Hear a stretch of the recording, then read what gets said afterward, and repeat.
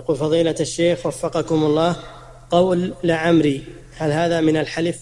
لا أصله حلف لكن صار يستعمل غير الحلف نعم